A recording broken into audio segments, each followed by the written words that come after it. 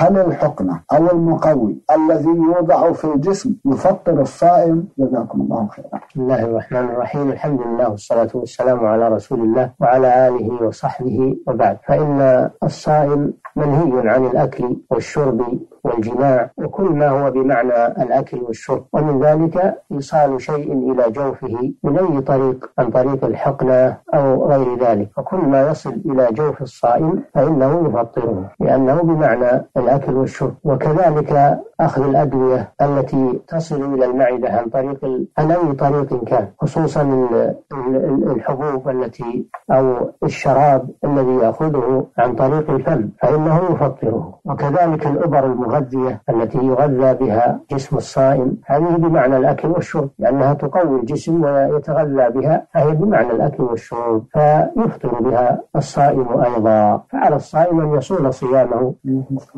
مما يفسده أو مما يؤثر فيه أو ما فيه شبهة وعليه أن يؤخر هذه الأشياء إلى الليل أن الله جعل الليل للصائم يتناول فيه ما يحتاج إليه وما يشتهيه مما أباح الله سبحانه وتعالى. وحل لكم ليلة الصيام الرفث إلى نسائكم إلى قوله تعالى وكلوا واشربوا حتى يتبين لكم الخيط الأبيض من الخيط حتى يتبين لكم الخيط الأسود الخيط الأبيض من الخيط الأسود من الفجر. ثم أتموا الصيام إلى الليل. فما بين غروب الشمس إلى طلوع الفجر كله مجال لتناول ما أباح الله سبحانه وتعالى للصائم. مما منعه منه في نهار الصيام. أما إذا كانت الحالة تستدعي تناول الأدوية لأن حالته لا تقبل التأجيل لليل فهذا يعتبر من المرضى. والله أباح للمريض أن يفطر وأن يقضي من أيام أخر. فإذا احتاج إلى دواء ولا يقبل التأجيل لليل وتناوله فإنه يعتبر مفطرا لأجل المرض فيقضي هذا اليوم من يوم آخر.